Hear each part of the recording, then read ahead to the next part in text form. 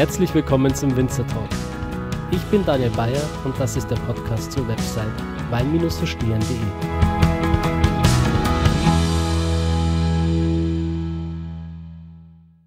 Ja, hallo liebe Zuhörer, herzlich willkommen zu einer neuen Folge vom Winzer Talk. Ich war jetzt seit gut eine Woche an der Mosel und an der Saar unterwegs und habe ähm, ja, jetzt viele kleinere Weingüter besucht, auch einige Geheimtipps. Und ich hoffe natürlich, dass ihr für euch da jetzt auch einige Geheimtipps entdecken konntet, vielleicht Weingüter, die ihr noch nicht kanntet. Ähm, ja, unter anderem waren auch Spätburgunder dabei an der Mosel, extrem interessant. Gerade die südliche Mosel mit dem Muschelkalk. Also für mich ist da jetzt ähm, gerade an der Mosel auch nochmal wirklich eine Welt aufgegangen, wo ich gar nicht gedacht habe, dass die Mosel wirklich so vielfältig und vielseitig ist, so facettenreich, wie der Riesling selbst. Wunderschön.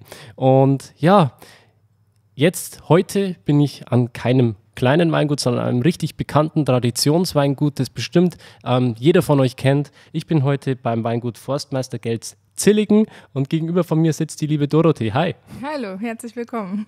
Vielen Dank. Es freut mich wahnsinnig, dass es noch so kurzfristig geklappt hat. Dankeschön. Das ehrt mich ja total, dass du dir die Zeit nimmst und das an so viele Gäste verteilen willst. Sehr, sehr gerne. Ja, ähm, Dorothee, bevor wir gleich anfangen, vielleicht ähm, möchtest du dich kurz vorstellen für die Zuhörer, die dich noch nicht kennen. Ja, also mein Name ist Dorothee Zilliken. Ich bin 38 Jahre alt, bin die elfte Generation unseres VDP-Weingutes, also schon gibt es uns ein bisschen länger, also seit 1742 betreibt meine Familie Weinbau an der Saar. Und ähm, zusammen mache ich das mit einem tollen Team, aber auch eben mit meinen Eltern und mit meinem Mann. Und da bin ich natürlich sehr froh, dass die mir alle so zur Seite stehen und so tatkräftig mithelfen. Wir haben mittlerweile 13,8 Hektar, alles an der Saar lokalisiert. Ähm, das meiste eher so zwischen 30 und 60 Prozent Steigung, also schon sehr viel Arbeit, aber wir hoffen, dass man das geschmacklich dann auch merkt und sich lohnt. Ja, 1742 ist das Ganze hier losgegangen. Ihr seid wahnsinnig erfolgreich. Ähm, aber wie bei jedem Weingut ging es irgendwann mal los. Irgendwann war der Startschuss. Ähm, vielleicht willst du uns mal kurz mit auf die Reise nehmen, wie das Ganze hier entstanden ist. Um die früheren historischen Begebenheiten, Gegebenheiten auszuloten, da wäre mein Vater bestimmt der bessere Ansprechpartner. Ich weiß das immer viel besser so ab 1908 rum, mhm. denn da ist ja auch was ganz Wichtiges passiert. Da wurde der VDP Mosel gegründet, wonach ja erst zwei Jahre später dann der VDP Bundesverband gegründet wurde. Und ähm, einer der Gründungsmitglieder 1908 war eben mein Ururgroßvater, der Ferdinand Gelz. Der war beim preußischen König angestellt als Forstmeister und hat sich aber eben auch sehr verdient hier um den Weinbau an der Saar gemacht oder an Mosel-Saruwe. Und da sind wir natürlich sehr froh und haben ihm auch viel zu verdanken. Und dann haben wir gedacht, dann behalten wir eben auch sowohl seinen Namen als auch sein Familienwappen mit bei uns auf dem Etikett. Deshalb haben wir ja doch durchaus noch ein etwas vielleicht dem einen oder anderen als altmodisch erscheinendes Etikett. Aber auf der anderen Seite, das ist nun mal meine Familie und warum dürfte ich das dann nicht zeigen sollen? Insofern möchte ich da schon meinem Stil oder der Familie auch treu bleiben. Ja, vor allem finde ich, die Etiketten sind immer so ein richtiger Blickfang. Ja, man, also der Wiedererkennungswert ist schon gegeben, das stimmt. Ja.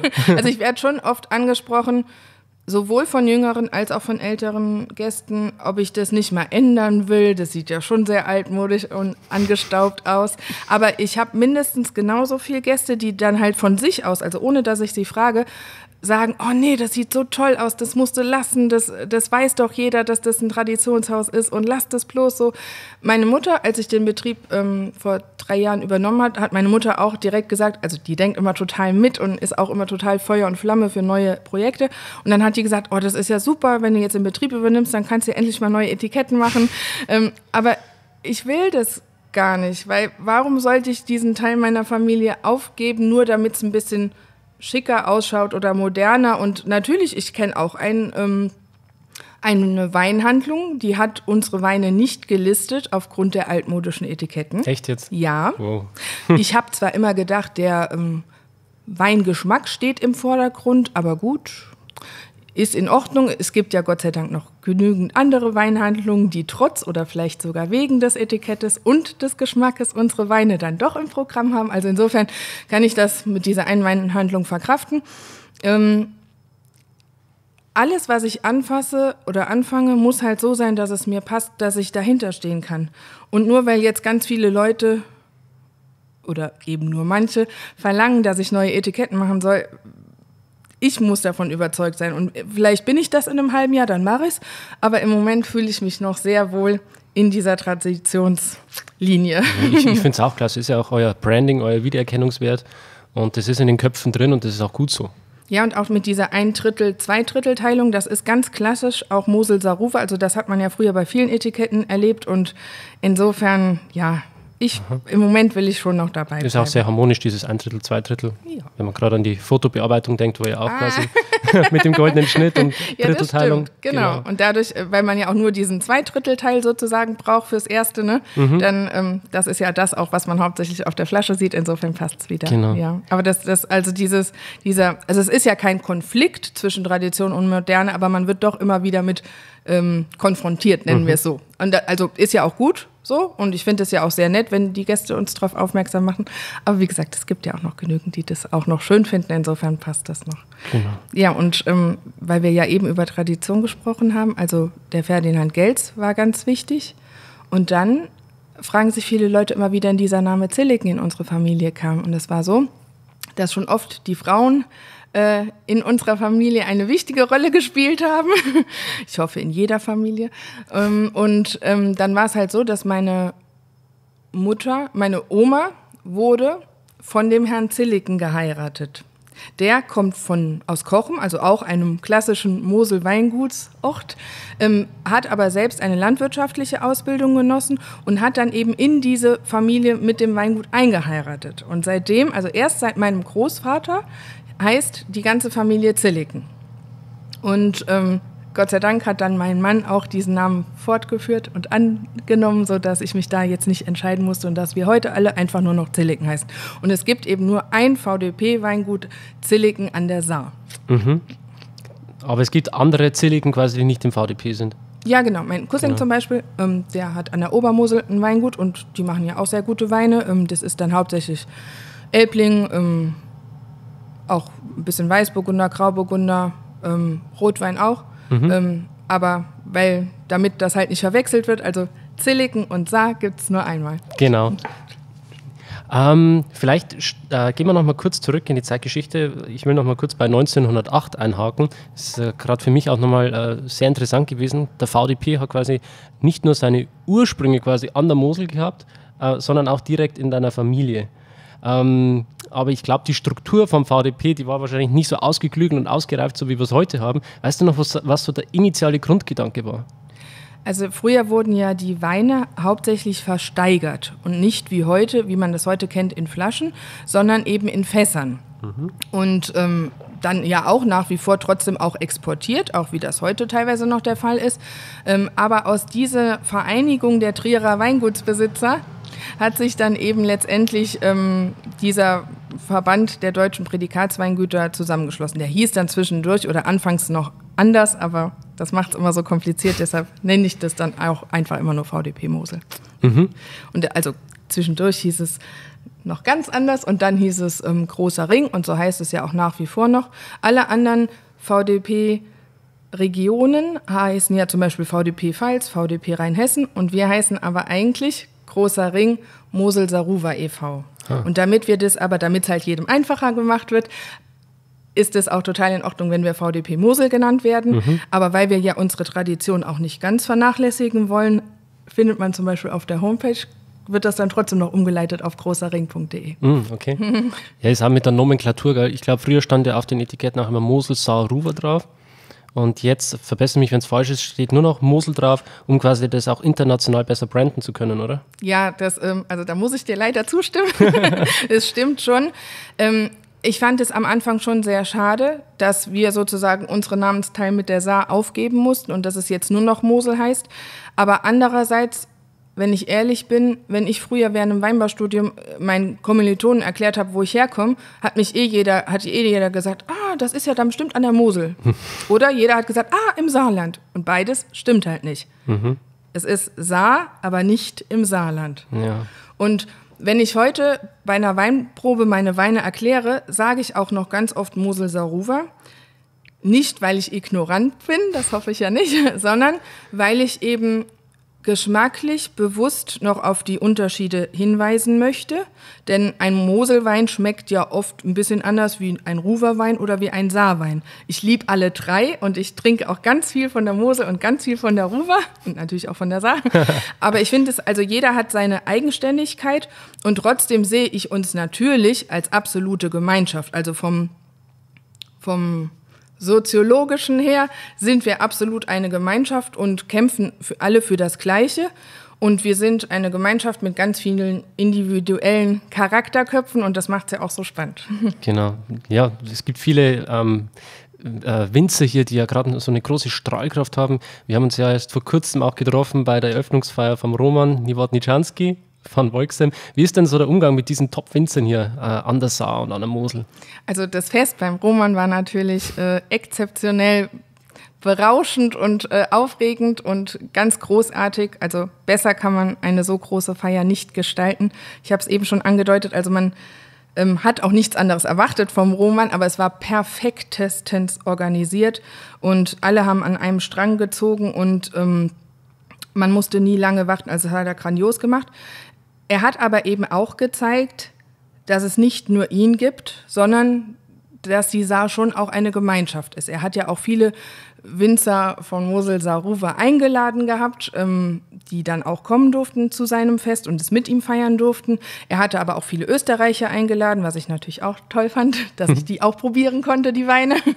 Und äh, es gab nämlich von diesen Winzern, die er eingeladen hatte, hat ja jeder auch zwei, drei verschiedene Weine in Magnum oder größeren Formaten mitgebracht. Und das zeigt ja auch, dass er eben nicht nur ich bezogen handelt, sondern eben auch ganz großen Weitblick hat im wahrsten Sinne des Wortes.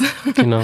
Und ähm, die Gemeinschaft hier an der Saar oder an Mosel-Saruwer generell und speziell an der Saar ist wirklich sehr gut und aber auch sehr hilfreich. Also ich könnte nie in einem Anbaugebiet arbeiten oder wohnen, ähm, wo man sich nur bekriegt. Also mir ist diese Gemeinschaft, von der ja alle wirklich immer sprechen, aber die ist wirklich so und das ist mir ganz, ganz wichtig. Also wenn bei uns auch wenn wir natürlich nicht so viele Maschinen haben, aber wenn bei uns mal was im Weinberg an der, an der Raupe kaputt gehen sollte, dann äh, kann, weiß ich genau, wen ich fragen kann, der uns dann aushilft. Oder wenn bei einem anderen Winzer noch ein paar Exportkartons zum Etikettieren fehlen, dann darf der sich die bei uns ausleihen. Oder ähm, wenn jemand Rat beim Filtrieren braucht, dann fragt er meinen Vater. Und andersrum, wenn ich mal wissen will, ob der Kunde gut zahlt, dann frage ich den nächsten Winzer. Also das ist wirklich, ähm, und man hat auch immer ganz viele gemeinsame Schnittmengen und wir kämpfen ja wirklich auch alle für das Gleiche, dass eben Mosel Saruwa positiv wahrgenommen wird und auch die Saar, die ja wirklich immer so abseits von allem liegt, wenn man das räumlich betrachtet, aber eben doch, ähm, ich glaube, aufgrund der Weine dann zeigen kann,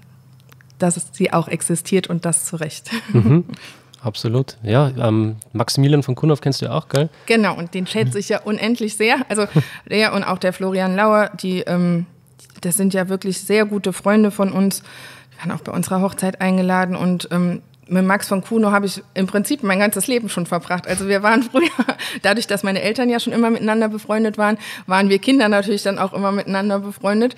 Und ähm, ganz süß anzuschauen ist auch jetzt das zum Beispiel von seiner Schwester. Die Kinder sind dann mit unseren wieder befreundet. Also es ist so eine, das verwächst alles so zusammen und das finde ich aber auch schön. Und gerade mit Max verbindet einen natürlich viel mehr als nur das Kollegiale und dass man sich über die weinbaulichen Themen austauscht, sondern eben auch über ganz viel Persönliches und ähm, der Max ist ja auch so ein totaler Kämpfer für die Saar und äh, voller Leidenschaft dafür. Und, und genau so Leute brauchen wir auch, mhm. damit die Region wieder weiter vorankommt. Und ich denke, da sind wir ja auch schon auf einem guten Weg. Aber an Max lasse ich nichts kommen, weil der hat immer so viele tolle Ideen und setzt sich so gut das dafür hast du ein. engagiert, also, gell? Macht auch die Versteigerungen in Trier. Genau, also der ist ja unser Auktionator. Das hat sein Vater ja auch schon ähm, vor vielen Jahren sehr erfolgreich gemacht.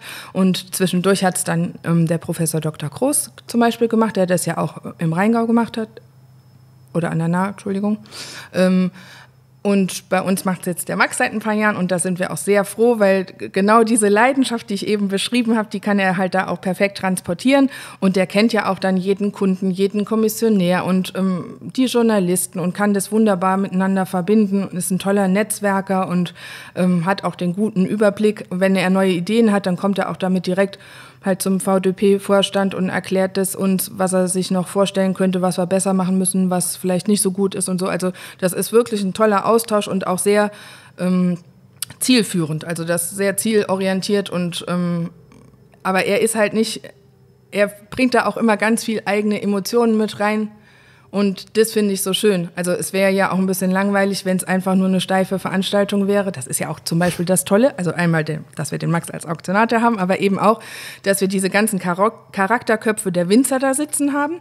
Und dass das ja auch eine Nassversteigerung ist. Das heißt, wir dürfen ja wir haben morgens, freitags morgens, das ist ja meistens der dritte Freitag im September, wobei wir das jetzt auch schon überlegt haben, ob wir das vorziehen müssen, weil die Ernten ja oft früher werden. Mhm. Aber zurzeit ist es immer noch der dritte Freitag im September. Ähm, dann ist morgens von 9 bis 11 die ähm, Vorprobe dieser VDP-Versteigerungsweine vom VDP Mosel.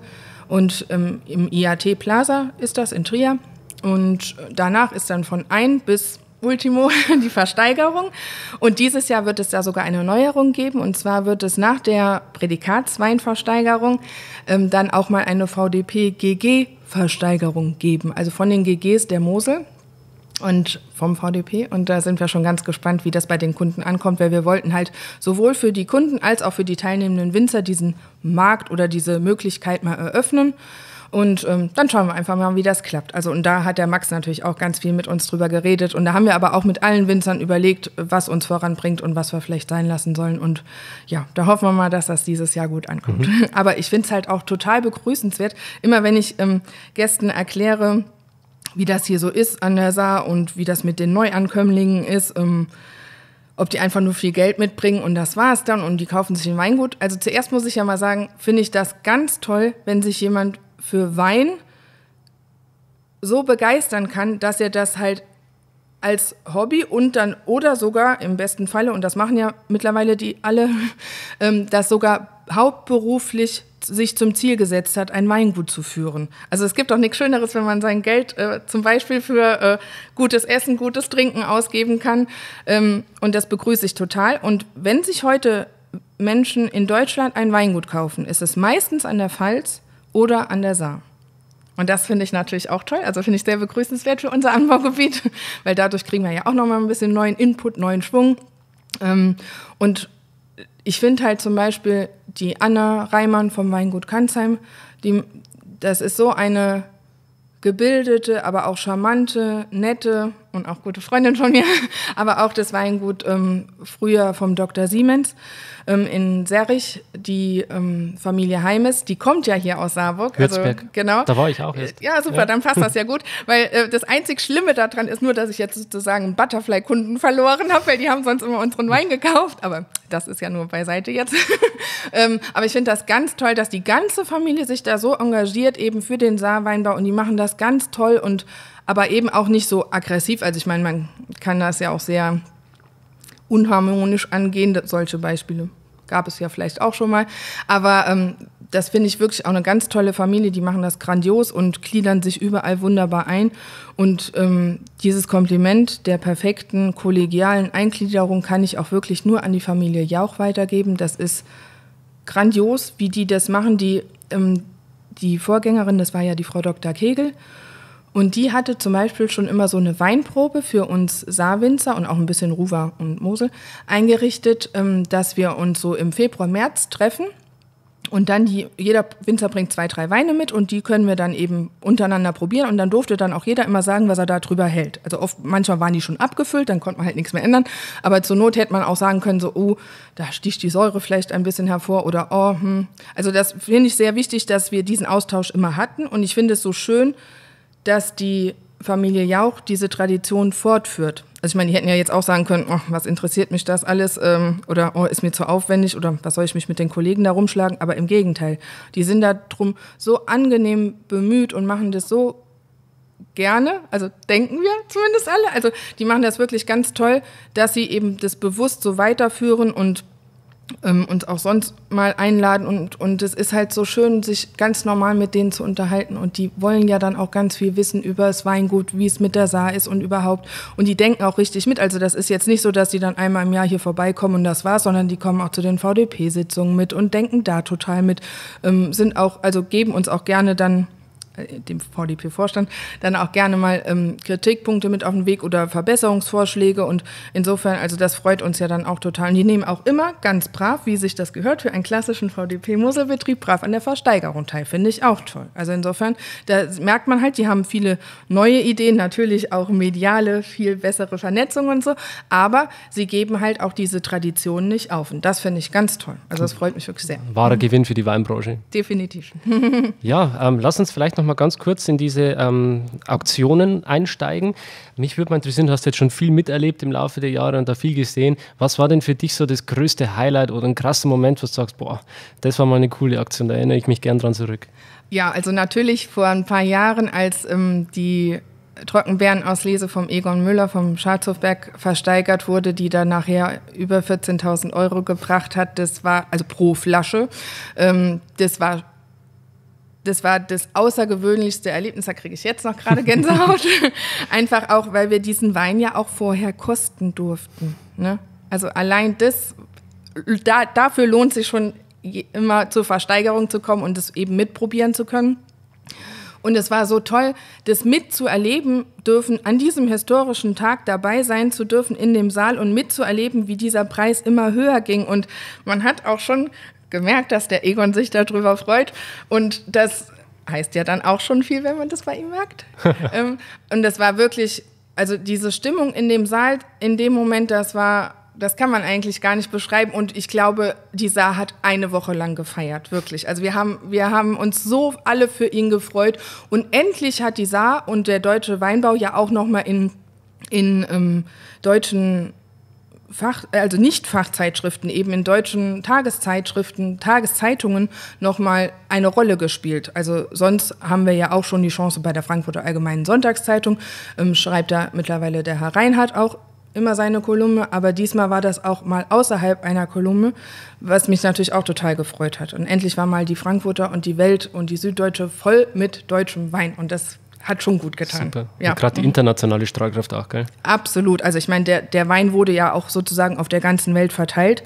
Ich glaube, es waren insgesamt 18 oder 22 Flaschen, ich weiß nicht mehr ganz genau. Ähm, aber das ist schon toll und und viele von diesen Weinliebhabern waren ja an dem Tag da. Ne? Und dann hat man ja diese Freude, dass die das bekommen haben, auch nochmal gespürt. Und das hat einen so mitgerissen. Da hat man sich ja für die auch nochmal gefreut, weil man die ja auch ein bisschen kennt, also manche von denen. Und ja, also das war wirklich was ganz Außergewöhnliches. Auf jeden Fall ein sehr wichtiger Meilenstein, um auch wieder dahin zu kommen, wo wir mal vor 100 Jahren waren an genau, der Mosel. Absolut. Also, dass, ähm, dass alle Karten in den Restaurants nochmal voll sind mit Mosel-Saruwa-Wein oder mit Saarwein, das ist natürlich absolut wünschenswert. Und da arbeiten wir alle dran. Und ähm, man muss ja auch mal ehrlich sagen, da, da sind wir, also jetzt gerade, wo wir eben über die Herren äh, drüber geredet haben, auch in eine ganz tolle Zeit reingeboren. Weil wenn mein Großvater von früher erzählt hat, aus den 70er Jahren, 80er Jahren, was es da manchmal für Missernten gab. Also es gab ja Jahrgänge, da wurde nichts reif. Da mussten die das grün ernten und es war dann höchstens QBA trocken, aber das macht ja keinen Spaß, ne? Mhm. Aus so einem unreifen Jahr. Und, oder was weiß ich, die Öchselzahlen gingen eh nicht höher als 65 und ähm, es hat einem alles verhagelt oder es ist alles erfroren. Ähm, oder meine Oma zum Beispiel, also meine Großmutter, die ich leider nie kennenlernen durfte, aber die hat ja zum Beispiel ähm, in den Nachkriegsjahren, als sie wieder hier war, hat die mit bloßem Telefonkabel, was überall rumlag, hat die die Reben angebunden. Also selbst wenn ich das jetzt erzähle, kriege ich Tränen in die Augen, obwohl ich nicht dabei war. Und wenn man sich das mal vorstellt, mit wie viel Widrigkeiten meine Familie dann schon ähm, konfrontiert wurde. Oder zum Beispiel mein Großvater war in russischer Gefangenschaft und kam erst zwei Jahre nach Kriegsende wieder nach Hause, um das Weingut dann mit der Oma weiterzuführen. Aber an anderer Stelle, weil unser Gutsgebäude war, stand eigentlich im Stadtteil Beurig und wurde halt während dem Zweiten Weltkrieg an Weihnachten gab es hier einen Bombenangriff und dann wurde es halt zerstört. Und dann mussten die ja sich zuerst mal ein neues Weingut kaufen und, also als er dann aus russischer Gefangenschaft endlich mal nach Hause kam, haben dann woanders gelebt, aber konnten halt Gott sei Dank diesen Keller hier aufkaufen. Ähm, dazu erzähle ich vielleicht nachher noch was. Ähm, aber ich finde es halt also das wollte ich nur noch mal erwähnen, dass mir das durchaus bewusst ist, dass wir im Moment eigentlich in eine ganz angenehme Zeit reingeboren sind und es nicht so schlimm haben oder mit anderen Problemen konfrontiert werden, aber die nie so schlimm waren wie das, was meine Großeltern aushalten mussten. Und die haben es ja trotzdem irgendwie hingekommen. Und das finde ich halt so faszinierend. Und ähm, diese Glanzzeiten, die es eben um die Jahrtausendwende gab oder äh, um die Entschuldigung um die Jahrhundertwende gab, da, da, wollen wir natürlich alle wieder hin und da kämpfen wir schon auch für, aber ich denke, da sind wir auch auf einem nicht schlechten Weg. Absolut. Ja, du hast ja vorhin auch gesagt, dass die äh, Leute sich hauptsächlich Weingüter auch an der Saar und in der Pfalz kaufen. Spricht ja auch dafür, oder? Absolut, genau. Das zeigt ja auch, dass es nicht das Schlechteste an die schlechtesten Anbaugebiete sein sollen. Absolut. Gerade mit dem äh, einzigartigen Klima, das man hier hat. Auch nochmal das Mikroklima an der Saar hier. Ja, genau. Und halt, also ich finde es ja immer sehr witzig, wenn ich irgendwie international bei Weinmessen sind und bin und die Gäste oder die Menschen hinter den Weinständen mir dann sagen, dass sie aus einer cool Climate Zone kommen. Finde ich, also mag ja auch stimmen teilweise, aber ich glaube, dieses Wort Cool Climate, das passt besonders gut hier am Mosel-Saruwe und speziell an dieser. Also bei uns sind die Amplituden ja zwischen Tag- und Nachttemperaturen wirklich sehr ausgeprägt und das ist aber auch gut. Also das hat, das ist ja auch unser Glück gewesen, auch in diesen heißen Herbsten, wo man vielleicht in anderen ähm, Orten schon eher über Kühlmöglichkeiten nachdachten musste. Also nicht, dass das schlimm wäre, aber da ist ja nochmal ein Schritt, was anders machen zu müssen auf die Schnelle. Und insofern sind wir halt froh, dass es bei uns hier nachts schon nochmal abkühlt und dass wir die Trauben hier nicht mit 30 Grad äh, ins Kälterhaus reinbekommen. Also das macht uns die Traubenverarbeitung ja dann auch nochmal einfacher. Insofern. Mhm. Und es prägt natürlich eindeutig den Geschmack unserer Weine. Also äh, Saarweine und ich hoffe auch unsere sind ja immer elegant. Man spürt diese Kühle, die sind nie zu fett, ähm, auch nicht in so einem heißen Jahr wie 2018. Und insofern ähm, sind das definitiv die Vorteile von der Saar. Und wir haben ja auch sogar in so heißen Jahrgängen auch oft noch genügend Feuchtigkeit eben im, entweder im Boden oder es regnet zwischendurch. Also das haben wir ja jetzt Gott sei Dank auch wieder gehabt. Letzte Woche noch ein bisschen Regen, jetzt diese Nacht noch mal Regen. Das tut schon gut. Also insofern, natürlich kann man auch bewässern, aber wir wollen das eigentlich noch nicht. Also auch wieder da nicht, dass wir uns diesen modernen Dingen verschließen. Aber ich denke immer, ein bisschen Stress tut den Reben gut. Und solange wir das noch so hinbekommen und die Reben uns noch was Anständiges liefern, dann wollen wir das auch so beibehalten. Aber in fünf Jahren kann das ja schon alles anders ausschauen. Also insofern, wir verschließen nicht die Augen, aber wir probieren es, dass es noch so geht. Ja, Klimawandel mhm. ist da, oder? Ja, das lässt sich nicht verleugnen. Hm. Ähm, wo würdest du denn sagen, liegen so geschmacklich vielleicht auch die ähm, Unterschiede zwischen Mosel und Saar, wenn man das vielleicht mal in Worte fassen könnte? Das ist immer schwierig, wenn man da ja, weil das schnell falsch verstanden werden kann. Aber ich finde zum Beispiel die Ruva, die hat ja immer noch so was Würziges mit da drin. Das finde ich sehr spannend. Und trotzdem ist es immer ganz elegant. Und die Mosel, die wird ja oft durch ihre Fruchtigkeit geprägt. Und man schmeckt hinten raus so ein bisschen die Mineralität. Also die ist natürlich genauso viel da, aber, aber weil die Frucht so toll ist, ist das immer das, was man als erstes erlebt. Und an der Saar würde ich sagen, ist es manchmal ein bisschen umgedreht. Die, oft sind die Weine von einer zuerst schmeckbaren Mineralität geprägt und die Frucht öffnet sich erst hinten und ein bisschen leiser. Aber wie gesagt, ich liebe es, Moselweine zu trinken und Ruwerweine und Saarweine. Also ich mache da jetzt keinen Unterschied. Ähm, im Sinne von, das meide ich oder das will ich nicht. Im Gegenteil, ähm, jeder Sommelier, wo ich hinkomme, der, der freut sich immer, wenn er mir irgendwie ein Kabinett von Mosel, Saruwa, egal von mhm. welchen der drei Flüsse, auf den Tisch stellen kann. Also insofern äh, ungefragt kriege ich das immer direkt als Aperitif angeboten. Insofern passt das ja. Cool. Ja, jetzt hast du mir richtig Lust gemacht auf Wein. so soll das sein. Ja, du hast auch einige vorbereitet. Ja, gerne. Dann probieren wir vielleicht zuerst mal den 2018er Zilliken Riesling Butterfly. Mhm. Sehr gerne.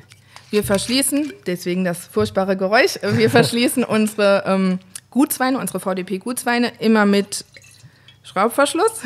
Das sind ja Weine, die hat man eh normalerweise die ersten paar Jahre ausgetrunken. Deswegen kommt es mir da ja jetzt nicht so sehr aufs Lagerpotenzial der Verschlussart an. Und ich denke halt für so Weine, die ja auch Spaß machen sollen, da darf man auch mal einen Schraubverschluss verwenden. Und Butterfly ist ja jetzt nicht so ganz der klassische Name eines Traditionssaarweingutes für einen Wein, aber der hieß früher Saarburger Rausch Riesling Qualität zweieinhalb trocken. Das ist ja viel zu lang und wenig charmant und dann waren wir immer auf der Suche nach einem bisschen kürzerem, cleverem, smarterem Namen ähm, waren aber selbst nicht kreativ genug. Mhm. Und es war so, dass viele Journalisten, unter anderem der John Gilman aus New York und der Stuart Piggott, oft unsere Weine als schmetterlingshaft beschrieben haben mhm. oder so elegant wie Schmetterlinge. Und dann haben wir gedacht, ah, mit dem Namen könnten wir doch was anfangen. Und dann haben wir gedacht, ah, dieses deutsche Wort Schmetterling mit dem SCH vorne dran, das hört sich immer so brachial nach Wagner-Oper an. Also ich meine, ich höre schon gern mal eine Wagner-Oper, aber dann, das ist ja nichts ganz so Zartes und Elegantes wie dieser Wein eben, den wir gerade im Glas haben. Und deswegen haben wir dann gedacht, naja, wenn wir das Englisch nennen, Butterfly, hinten mit dem Fly, das hört sich ja auch nochmal ein bisschen ja, zarter und äh, leicht, genau. Und deswegen haben wir gedacht, gedacht, gut, dann nennen wir das so und haben aber dann auch den Steward gefragt, ob wir so seine Idee denn aufnehmen können aufgreifen können, hat er gesagt, ja klar, das müsst ihr machen, hat auch direkt einen Artikel in der Frankfurter Allgemeinen Sonntagszeitung damals geschrieben, das war 2002, als wir mit diesem Wein angefangen haben. Und ähm, hat uns da total geholfen und auch drin bekräftigt in dieser Idee, das hat uns ja dann auch gut getan, weil wir als wirklich traditionelles Weingut wir überlegen dreimal, welche Neuerungen wir unseren Gästen zumuten können, aber wir haben eigentlich festgestellt, oft zerbrechen wir uns viel schlimmer den Kopf, als nötig gewesen wäre.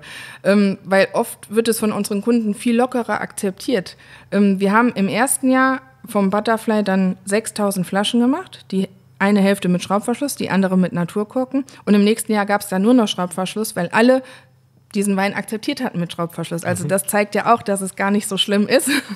Und ähm, auch das moderne Etikett haben alle akzeptiert, ähm, außer zwei tatsächlich. Ich habe zwei Kunden wissentlich verloren wegen dem neuen Package, aber die anderen ähm, haben alle, also ich habe bestimmt auch 200 aufgrund dessen wegen diesem für den Wein gewinnen können. Insofern ist es in Ordnung. Und diese zwei, die ich verloren habe, die mögen aber trotzdem noch unsere anderen Weine. Also insofern ist es ja in Ordnung.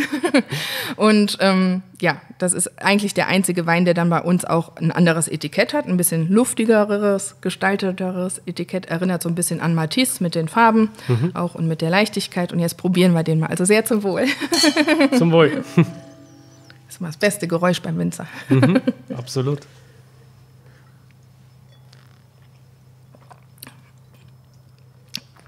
Ich finde, das ist so ein Wein, der passt genau für heute den Tag. Es ist so draußen heiß und schwül, ein bisschen drückend.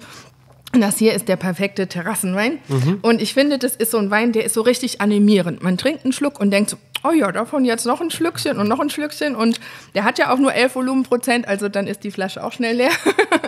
Ähm, und dadurch, dass er immer feinherb ausgebaut ist, ist er sehr flexibel zum Essen einzusetzen. Jetzt finde ich diesen Begriff feinherb ja leider auch sehr dehnbar. Ähm, wenn ich persönlich im Restaurant sitze und ich habe mir ein Menü ausgesucht oder einen Gang und denke, auch dazu könnte vielleicht was Feinherbes passen. Und ich bestelle einen Wein im Restaurant, der Feinherb heißt, und ich bekomme nachher einen Wein, der schmeckt, als ob er 45 Gramm Restzucker hat, dann ist das nicht, was ich mir vorgestellt habe.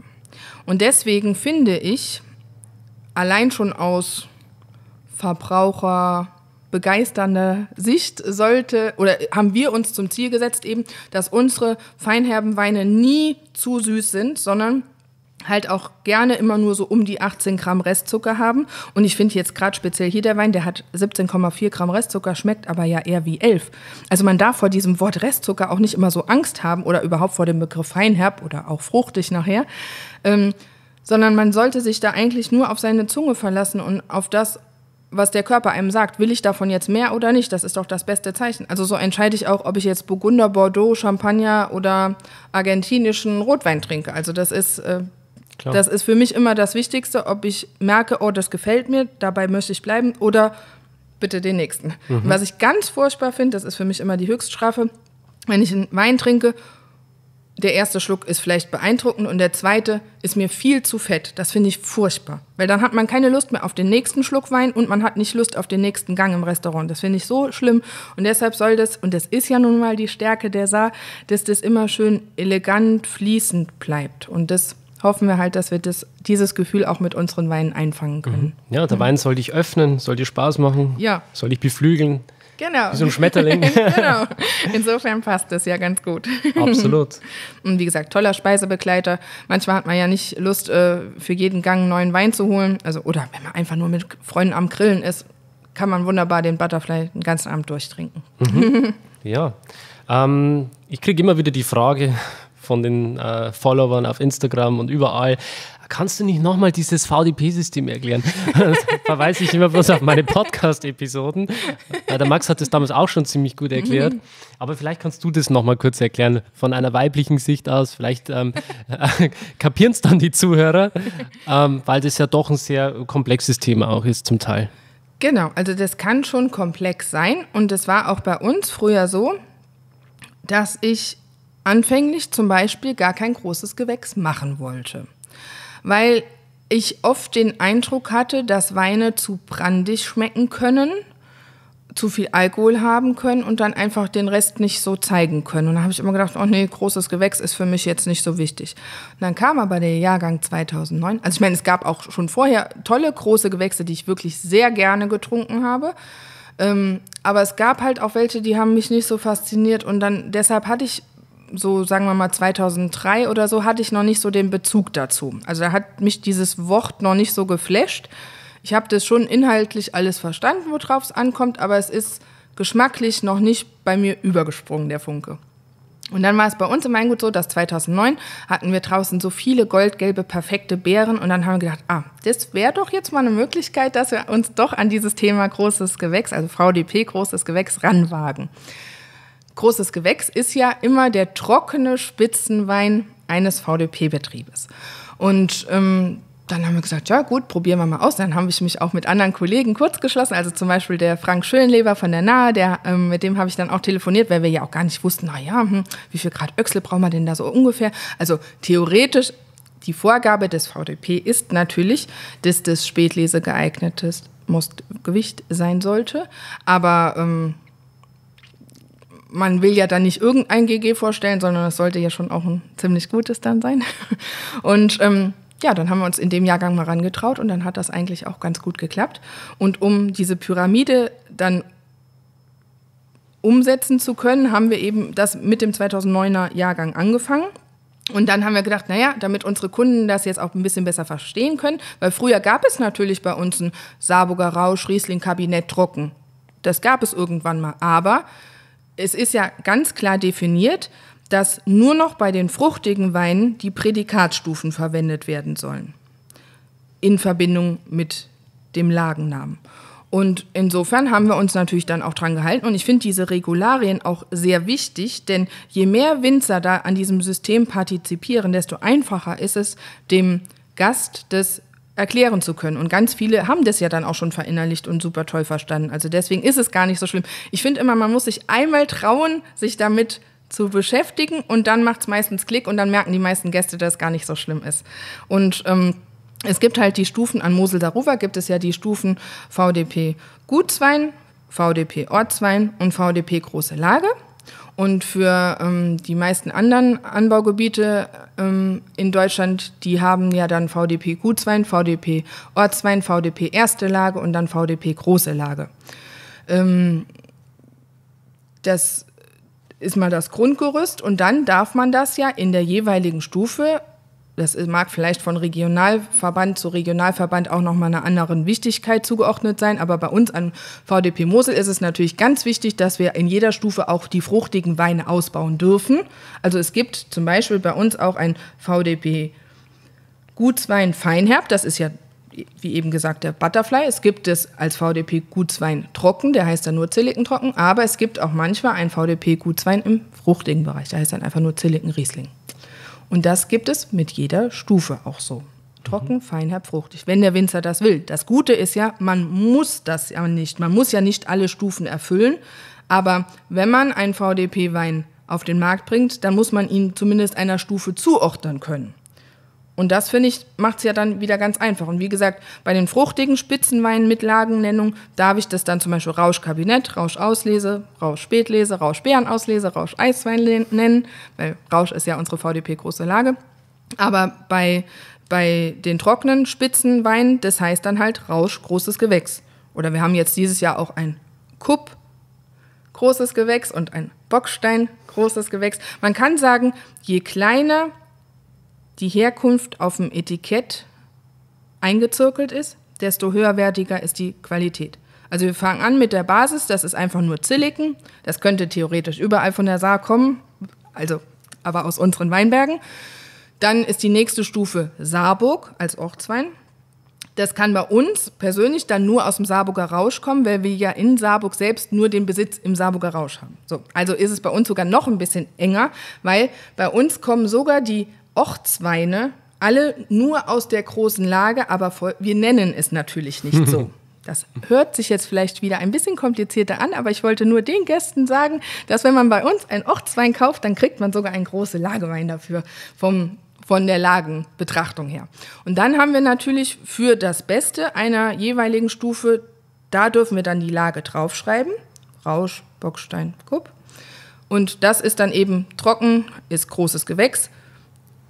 Und fruchtig sind dann eben diese Prädikate, wie eben genannt. Ja. Also an sich finde ich es gar nicht so kompliziert. Man muss einmal den Mut zusammennehmen, sich kurz damit beschäftigen und dann geht's wieder. Ja, wie du schon sagst, und auch die einzelnen Lagen. Lage ist ja auch nicht gleich Lage. Erst unten ist es dann immer ein bisschen flacher. Dann kommt es darauf an, wie die Sonne zugeneigt ist und so weiter und kann dann quasi nochmal einzelne Filetstücke herausarbeiten. Und dann wird es, glaube ich, richtig interessant, oder? Klar, klar, absolut. Und man muss aber auch dazu sagen, das ist jetzt gar nicht so, dass wir jedes Jahr sagen können, ah, in der Parzelle wird unser großes Gewächs geerntet und äh, zwei Anlagen tiefer, eins mehr nach rechts, wird dann die Spätlese geerntet. So ist es nicht.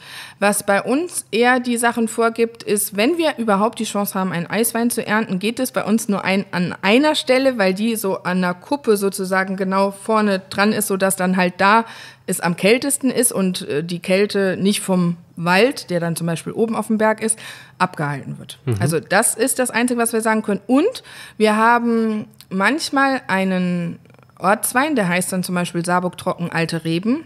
Und den können wir ja tatsächlich dann nur in unseren alten Anlagen machen. Die sind zwischen 60 bis 130 Jahre alt. Und das sind die, die ganz unten im Saarburger Rausch sind. Das sind unsere ältesten Parzellen. Und diese ganz alte mit 130 Jahren alt, die ist sogar noch wurzelecht. Und das sieht auch eher aus wie so, ein, wie so Apfelbäumchen, die dann da kreuz und quer wachsen und ganz knochig. Aber das hat halt gezeigt, dass in diesen heißen Jahren wie zum Beispiel 2003, aber auch jetzt 2018 natürlich und auch 2015, hatten diese alten Reben natürlich schon viele Vorteile, weil die ja in der Tiefe immer noch genug Feuchtigkeit hatten. In neun Meter Tiefe war da immer noch was, sodass die Reben dann eben auch Nährstoffe aufnehmen konnten. Andererseits hat es sich aber auch gezeigt, wir haben nämlich auch einige unserer Flächen, also wir haben insgesamt sieben Hektar auch schon mal neu gepflanzt in den letzten 20 Jahren.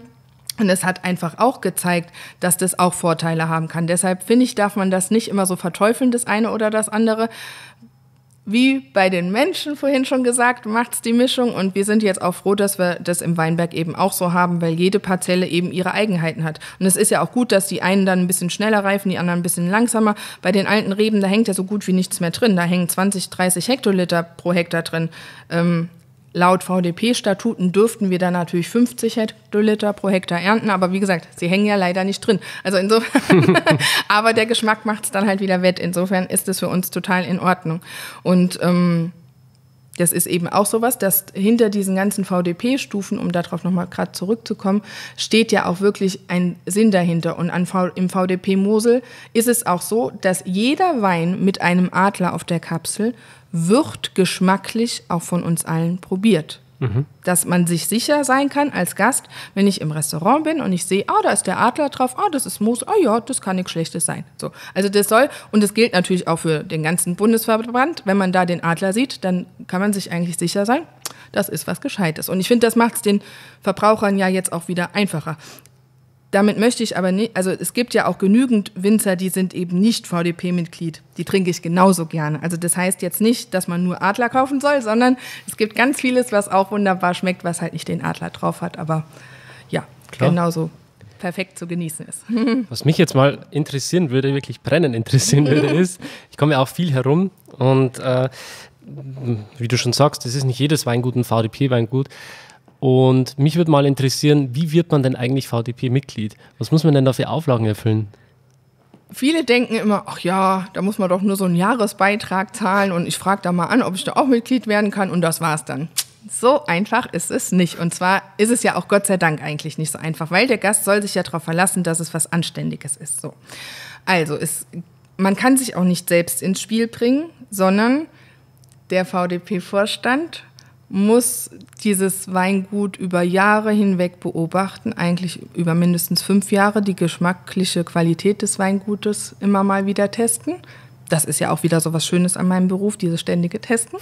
ähm, und dann ähm, wird natürlich auch geguckt, ob das überhaupt von der Größe hinpasst. Also bei uns am VDP Mosel, da muss, muss die Mindestbetriebsgröße ist vier Hektar, muss zu 80 Prozent mit Riesling bestockt sein.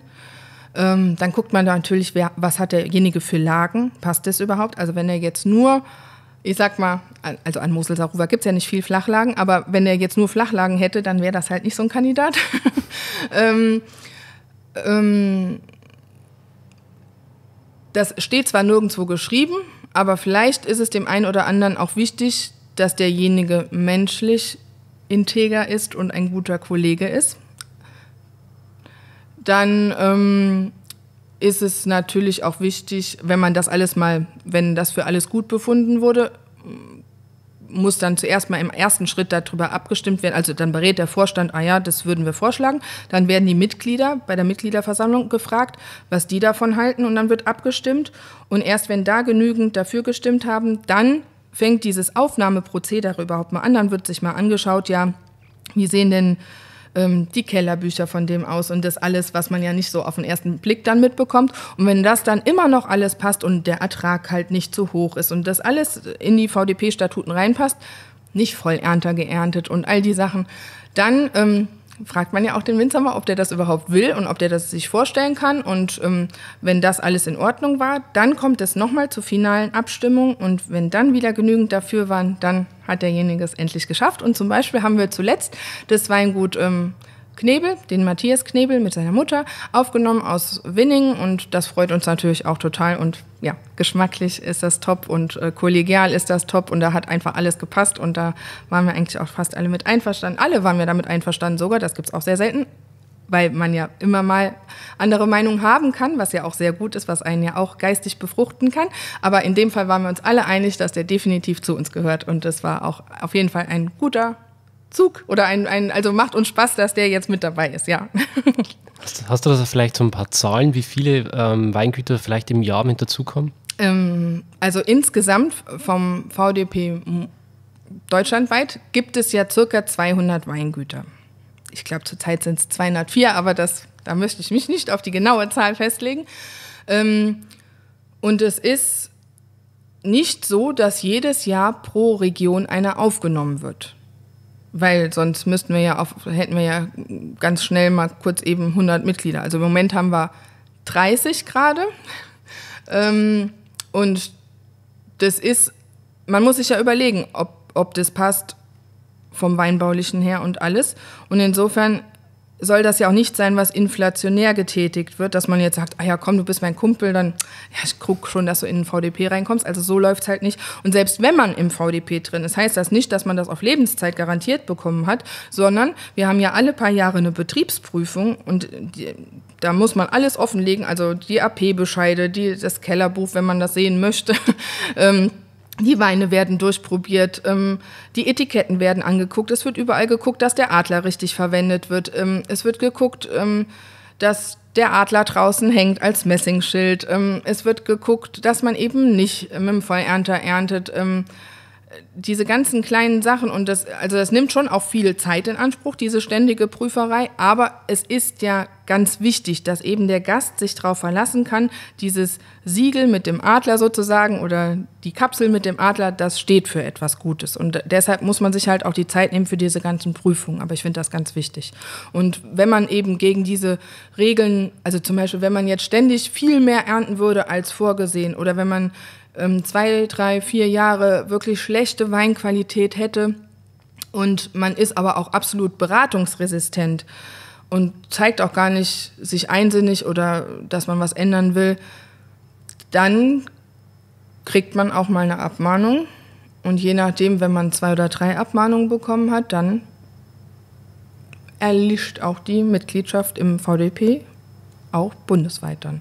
Also man kann auch zum Beispiel nicht im Bundesverband Mitglied sein, aber eben nicht in der Region. Das geht nicht.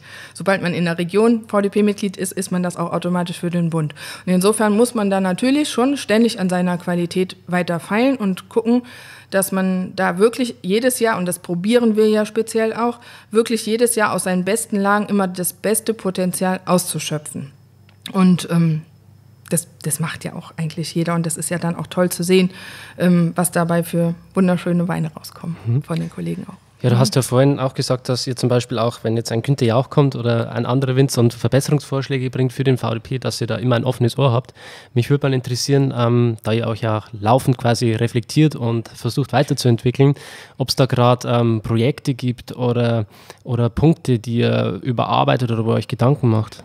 Also zum Beispiel beim VDP Mosel ist natürlich ein ganz wichtiger Bestandteil, dass wir gucken, dass die ähm, Versteigerung im September schon ein bisschen flüssiger und ein bisschen lockerer wird, dass das weil manchmal kann das ein bisschen zu viel Zeit in Anspruch nehmen, ähm, sodass es manchen Gästen, die dann da unten sitzen, vielleicht ein bisschen zu lang erscheinen mag.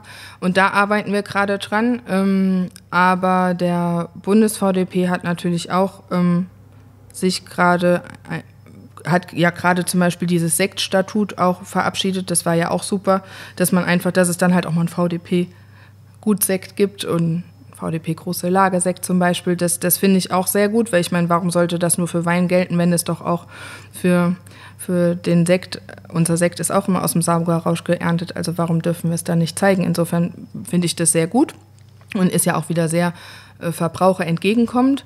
Ähm, und es gibt auch im Bundesverband ein ganz großes Thema, aber ich weiß gerade tatsächlich nicht, ob ich schon darüber reden darf oder nicht. Deshalb möchte ich da jetzt nicht vorgreifen, aber ähm, man wird schon die nächsten äh, 10, 15 Jahre von einem ganz großen, wichtigen Thema im VDP-Bundesverband immer wieder hören und das ist ja auch gut so.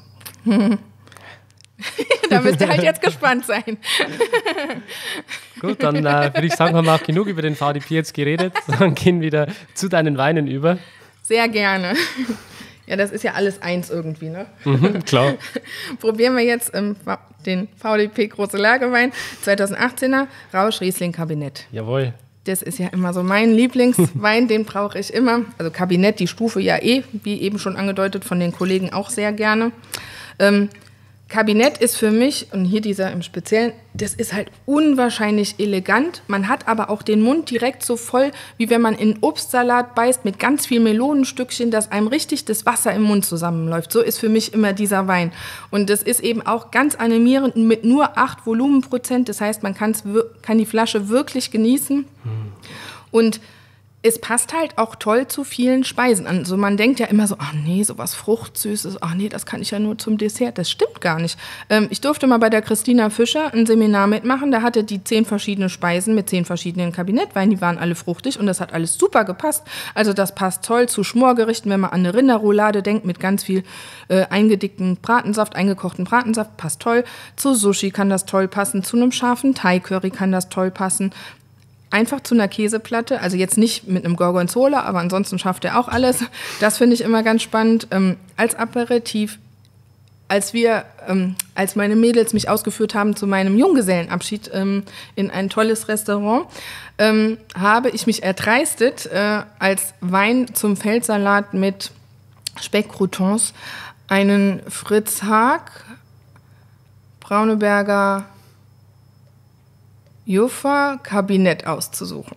Dann meinte der Sommelier, kam zu mir und meinte, Sie wissen schon, dass der nicht trocken ist. Ich habe gesagt, ja, und deswegen will ich den haben. Der konnte die Welt nicht verstehen. Also ich finde, jeder soll das aussuchen, was ihm schmeckt und dann, dann bleibt er doch auch gerne dabei. Und das ist, also ich finde dieses Diktieren, was zu was passt oder was man jetzt trinken soll oder was jetzt gerade modern ist, das finde ich immer so furchtbar. Also das ist ja eigentlich auch sehr kurz gedacht ich finde es doch viel schöner, wenn man rausfinden darf, was einem zusagt und was nicht und dass man so seine eigenen geschmacklichen Grenzen erfahren darf. Das finde ich viel schöner. Und ähm, man muss ja auch sagen, gerade bei dem Wort Kabinett, für uns war der, der, Kabinett schon immer ein ganz wichtiger Wein. Also die größten Abfüllungen von uns sind normalerweise in normalen Jahrgängen immer Butterfly und Kabinett. Da sieht man schon dran, dass es viel bei uns ist. Aber wir haben immer eine hohe Nachfrage nach trockenen Wein gehabt, konnten die aber nie erfüllen, weil wir zum Beispiel nicht jedes Jahr gibt uns so viele tolle goldene Beeren wie 18er Jahrgang. Ne? Für unsere trockenen Weine verwenden wir nur die kleinen goldenen lockerbeerigen Bärchen. Da darf kein Krümmelchen Botrytis mit drin sein. Und deswegen, das ist ja unser begrenzender Faktor. Also wir können nicht einfach nur, weil die Nachfrage nach irgendwas hoch ist, mal gerade sagen, oh ja, also könnten wir schon, aber machen wir nicht, weil es nicht das ist, was wir uns im Kopf darunter vorgestellt haben. Und dann bleiben wir lieber bei dieser Philosophie, dass wir es halt so machen, ähm, dass wir auch dahinter stehen können. Und beim Kabinett freut mich das natürlich gerade im Moment sehr, dass das so ein Wort ist, was ja doch äh, dem einen oder anderen jetzt so seit den letzten drei, vier, fünf Jahren mal ähm, immer wieder über den Bildschirm flimmert oder um die Ohren gehauen wird. Ähm, Kabinett ist total in, das traut man sich wieder zu trinken und das freut mich natürlich, dass wir dann als Traditionsunternehmen endlich auch mal in einem Trend mit drin sind. Ne? Also wir mussten uns nicht dafür verbiegen, sondern das, was wir schon immer so gemacht haben, ist endlich mal Trend. Das tut ja auch mal gut. Das passt ja super in den Zeitgeist, oder? Leichte, bekömmliche ja. Weine, wenig Alkohol. Absolut. Und man muss ja wirklich sagen, das ist das, wie Mosel Saruwa das früher auch schon gemacht hat. Man muss sich vorstellen, früher gab es ja nur ganz kalte Keller, so wie unser Keller jetzt ist. Ne? Können wir nachher auch mal noch reingehen. Gerne. Ähm, der gleicht ja eher so einer Tropfsteinhöhle. Da sind es dann auch immer eher so 10, 11 Grad, also ganz kühl und eine hohe Luftfeuchtigkeit mit zwischen 55 bis 95 Grad ähm, Luftfeuchtigkeit Prozent.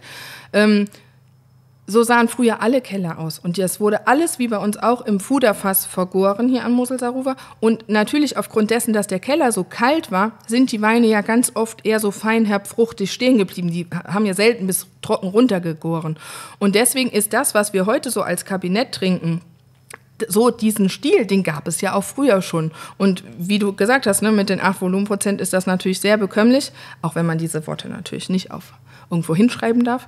Ähm, aber das macht total viel Spaß. Und da sind wir wieder beim wichtigsten Faktor. Man, man trinkt einen Schluck und hat direkt dieses, ja, dieses Mundwassergefühl und äh, perfekte Erfrischung. Und das Schöne ist, der Wein macht jetzt Spaß und die nächsten 20 Jahre. Zum Sehr Wohl. zum Wohl. Geschwingt. Ja, genau, zu gierig. und er ist halt der ist so fließend und so filigran und trotz seiner Frucht nie zu fett. Der hat 58 Gramm Restzucker. Hört sich wieder furchtbar schlimm an. Aber, aber er schmeckt nicht so, finde ich. Und das ist wieder die Stärke von der Saar. Und auch wenn 2018 ja ein sehr reifer Jahr war, ein sehr reifer Jahrgang war, hatten wir ja trotzdem einen pH-Wert von ungefähr 2,9 und das hat halt auch total geholfen. Und die Säure, die vorhanden ist, also es war ja auch erlaubt, Säure zuzugeben, aber das haben wir nicht gemacht. Das, ähm, es hat uns geschmacklich auch so gereicht und dann haben wir davon Abstand genommen. Und ähm, ich finde, diese 2,9 im pH-Wert, die haben halt schon geholfen, dass die Säure ähm, noch frisch schmeckt. Also auch wenn sie nominell ein bisschen tiefer ist, aber es, dieses Erfrischende bleibt ja trotzdem noch. Und der Wein ist lang im Abgang, aber nicht beschwerend. Und das hat ja auch was mit Bekömmlichkeit zu tun. Mhm. Also mir schmeckt das sehr, sehr gut. Richtig schön.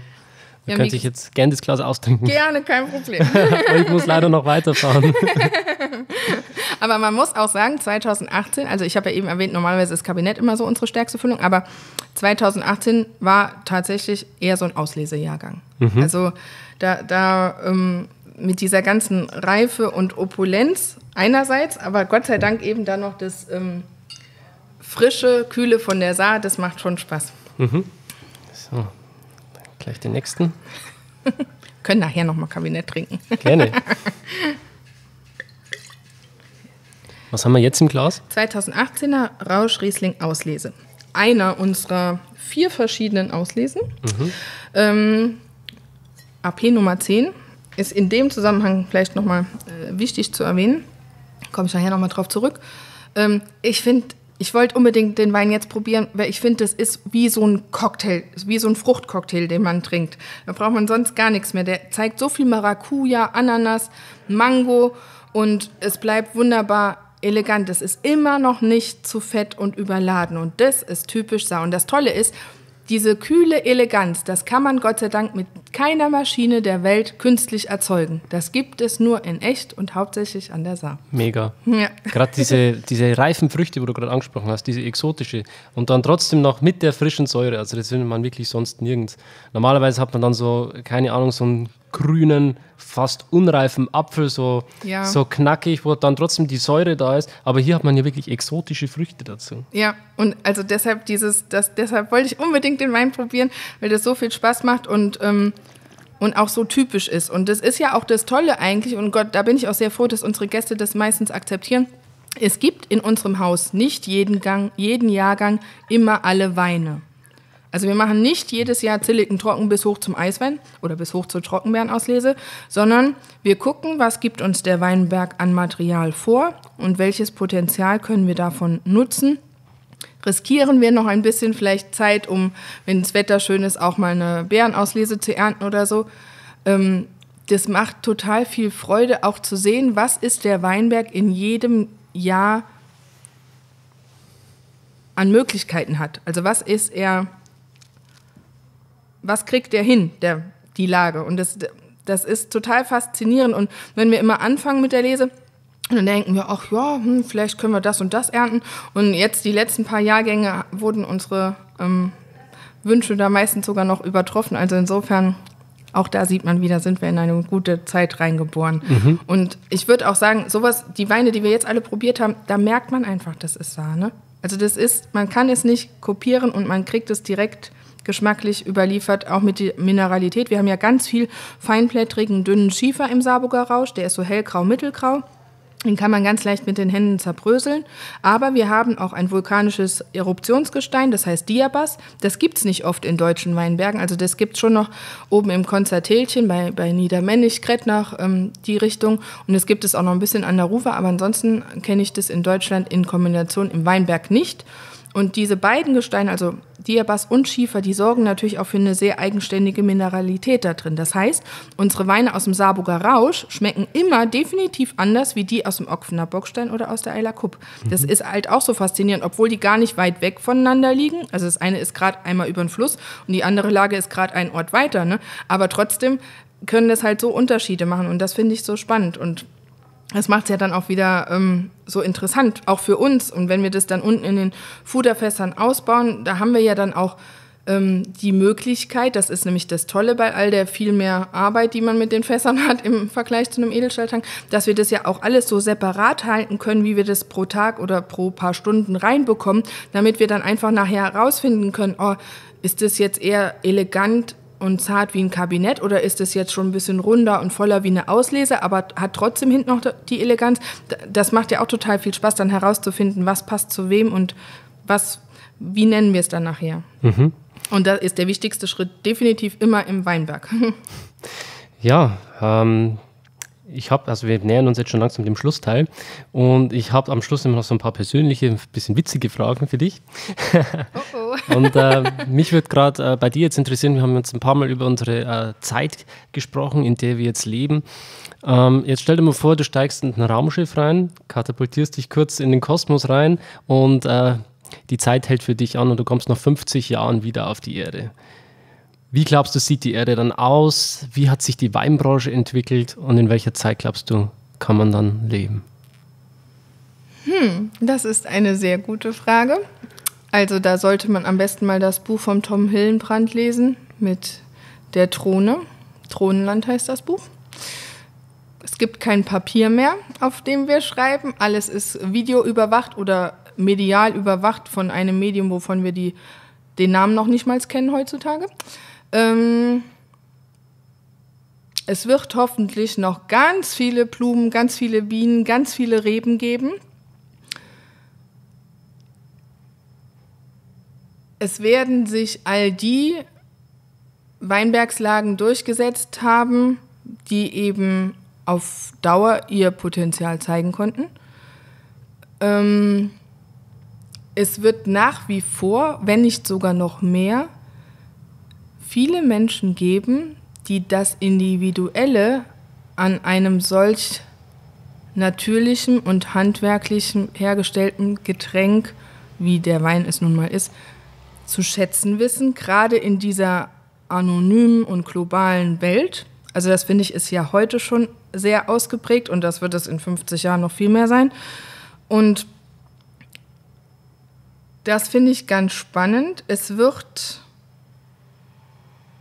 ob es in 50 Jahren noch so ist, weiß ich nicht, aber ich denke, in 10 und 20 Jahren wird auch der Kontakt zu den Winzern auch nach wie vor hoffentlich eine sehr wichtige Rolle spielen, weil auch für mich, wenn ich in Österreich im Urlaub bin und ich ähm, besuche Freunde oder so, freue ich mich ja auch total, wenn die mir einen Einblick ins Weingut gewähren und nicht nur, wenn ich dann äh, anonym per E-Mail irgendwas bestellen kann. Ne? Also das, das macht ganz viel aus und ich hoffe halt sehr, dass es in 50 Jahren auch noch das ausmacht, weil das ja auch wieder ein, ein Schritt zu unserer Individualität ist und Wein und speziell Riesling und überhaupt Deutschland wird deutscher Wein wird auch in der Zukunft was ganz individuelles sein und hoffentlich eben auch bleiben.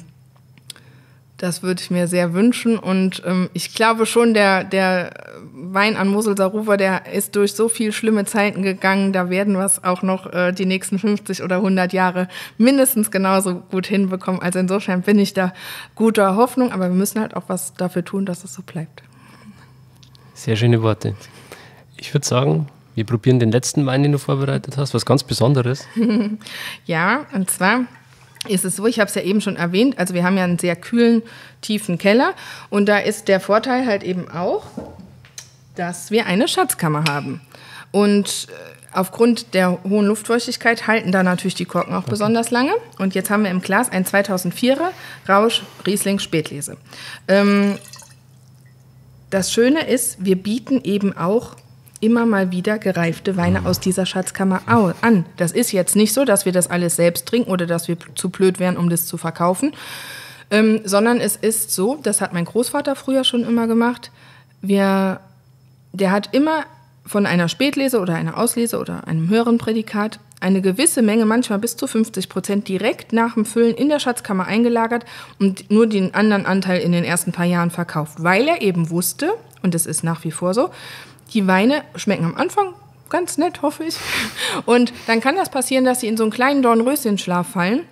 Und so nach sieben, acht Jahren sind die vielleicht nicht mehr ganz so offen oder nicht ganz so brillant, wie sie eigentlich sollen. Und dann wartet man halt drei, vier, fünf Jahre und dann öffnen die sich wieder. Und wenn die sich wieder öffnen, dann bringen wir die bewusst wieder auf den Markt. Das bedeutet, bei uns erhält man immer mindestens eingereiften Wein auf der normalen Liste und auch hier zum Probieren.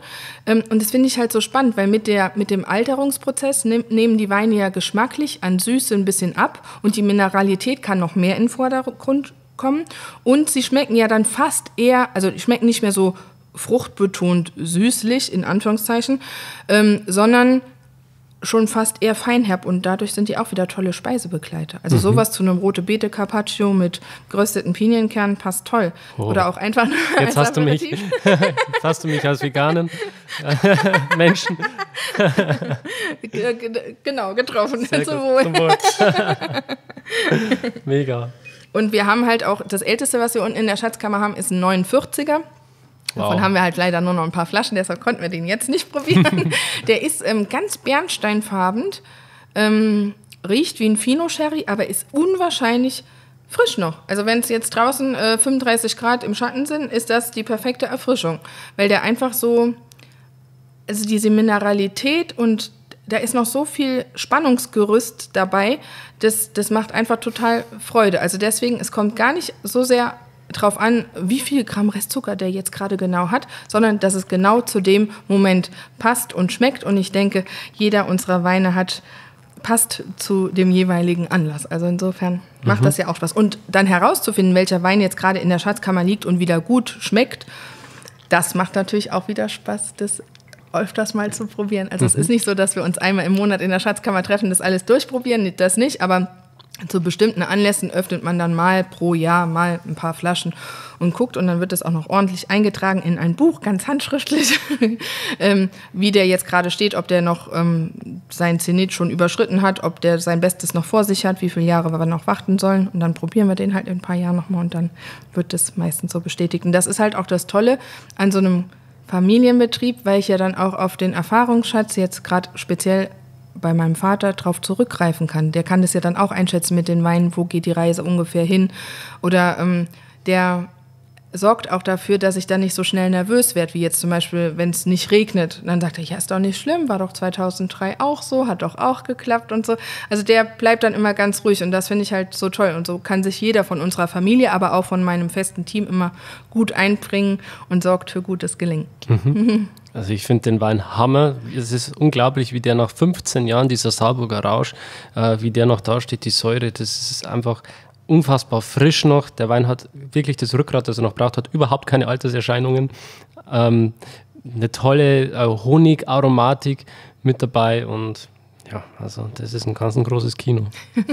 oder auch toll als Aperitif, ne? Das mhm. manchmal, also Champagner trinken wir ja auch gerne oder auch ein VDP-Sekt, aber ähm, sowas ist ja auch ein ganz besonderer Wein dann eben mal zu einem Aperitif. Das kann schon schön passen. Mhm. Oder auch zu einer Käseplatte. Geht auch. ja, und es ist halt so schön zu sehen, ähm, wir müssen hier nicht warten. Ne? Wir müssen, weil es gibt ja Weine, da muss man zuerst mal 20 Jahre warten, bis die sich öffnen. Aber hier, die klassischen Weine von der Saat, die kann man jetzt genießen und im besten Fall eben dann die nächsten Jahre noch. So ist es ja zum Beispiel 2018 hatten wir die großartige Chance, sieben Tage lang am Stück Einzelbeerenselektionen zu betreiben. Also meine Mannschaft hasst mich immer dafür, wenn ich dann mit den zwei Lesegefäßen ankomme. Aber es ist ja nicht so, dass ich denen das diktiere von oben herab, sondern ähm, wir hatten dann zum Beispiel neun Personen im Weinberg, die dann immer das abgeschnitten haben, was schon eingeschrumpft war. Und wir haben aber dann eben auch, ähm, hatten wir neun Frauen plus mich oben auf dem Traubenlegewagen stehen und wir haben dann eben das wirklich Einzelbeerenselektion mäßig betrieben, wie bei Aschenputtel. Und es ist eine unwahrscheinliche Arbeit. Man steht den ganzen Tag auf dem gleichen Fleck und hat immer nur diese 40 Zentimeter Seeabstand. Also das ist schon nicht so einfach und egal wie heiß oder kalt es dann morgens noch ist. Aber was wir dann da rausholen können, das ist halt wirklich was Besonderes. Und das so ein Wein, eine 2018er Trockenbeerenauslese, da konnten wir sogar zwei machen. Eine, die wir ganz normal jetzt im Verkauf anbieten und eine, die wir irgendwann mal in die Versteigerung bringen werden in ein paar Jahren. Und das ist so toll, dass der Berg dafür in der, dazu in der Lage ist, sowas herauszugeben, dass die Natur uns damit beschenkt, dass ich ein Team habe, was das mit mir macht, diesen Weg mit mir bestreitet, weil hätte ich dieses tolle Team nicht, dann das ist vielleicht so das Problem für uns in 50 Jahren. Dann gibt es vielleicht nur noch Vollernter, man weiß es nicht. Vielleicht sind die dann auch ganz toll entwickelt. Ich will das ja nicht verteufeln, aber solange wir das noch mit echten Menschen machen können, bevorzuge ich das definitiv. Und dieser Wein, diese Trockenbeerenauslese, die wird mich mein ganzes Leben begleiten. Und das finde ich so schön, dass ich die dann vielleicht alle zehn Jahre mal probieren kann und gucken kann, wie sie gerade dasteht, wie sie sich entwickelt hat. Wir Menschen verändern uns, aber die Weine auch. Und meistens ist das beides ein Vergnügen. Liebe Dorothee, zum Abschluss noch eine äh, Frage für dich. Und zwar stell dir vor, du kannst mit einer Person also du gehst mit einer Person essen und darfst die eine Person aussuchen. Es ist ganz egal, ob diese Person noch lebt oder ob die schon tot ist. Und es ist egal, ob die Person aus der Weinbranche ist oder äh, aus irgendeiner anderen Branche. Kann Schauspieler sein, kann Schriftsteller sein oder einfach eine Person, die dich inspiriert oder inspiriert hat. Welche Person wäre es? Also da fallen mir sehr viele ein. Ähm, aber ich glaube, ich würde sehr gerne mit meiner Großmutter, die ich ja dann nie kennenlernen durfte, mit der wäre ich gerne essen gegangen, weil die hat so viel durchgemacht und die hat so viel für unser Weingut bewirkt und hat ähm, den ganzen Laden sozusagen aufrechterhalten in den schwersten Zeiten und hatte ja auch Kinder und also später dann und hat das auch alles irgendwie hinbekommen und die hätte mir sicherlich noch ganz viele Weisheiten mit auf den Weg äh, geben können, ähm, die ich gebrauchen könnte. Also das wäre bestimmt was Tolles. Ansonsten äh, sitze sitz ich total gerne mit meiner Familie am Tisch. Ähm, da haben wir auch immer ganz viel zu bereden und ähm, das ist auch das Schöne an so einem Familienbetrieb, dass dann eben alle auch noch wirklich gedanklich als auch körperlich arbeitend mit tätig sind und mir viel helfen können. Und so kommen wir ja dann auch weiter. Also insofern ist da schon was Tolles. Aber mit meiner Großmutter, das hätte mir schon gefallen. Ja. Ja, liebe Dorothee, vielen Dank ähm, für deine Zeit hier im Interview und vielen Dank, dass es so kurzfristig geklappt hat vor allem. Ähm, hast du noch letzte Worte an die Zuhörer, die du ihnen gerne mitgeben würdest? Verlasst euch auf euren Geschmack und trinkt das, worauf ihr Lust habt. Das ist das Wichtigste. Sehr zum Wohl. Jawohl. zum Wohl. gar nichts mehr, armer Kerl. Vielen Dank, Dorothee. Sehr gerne. Vielen Dank, dass du mir die Chance eingeräumt hast. Ich danke dir. Absolut ist eine Ehre für mich, hier sein zu dürfen. Und ja, liebe Zuhörer, ich wünsche euch noch einen wunderschönen Tag und hoffentlich einen guten Wein im Glas. Ciao. Schön, dass du dabei warst. Wenn dir dieser Podcast gefallen hat, dann bewerte mich auf iTunes. Wenn du Fragen hast oder mehr Informationen zum Thema Wein suchst, dann schau auf meiner Website wein-verstehen.de vorbei. Bis zum nächsten Mal.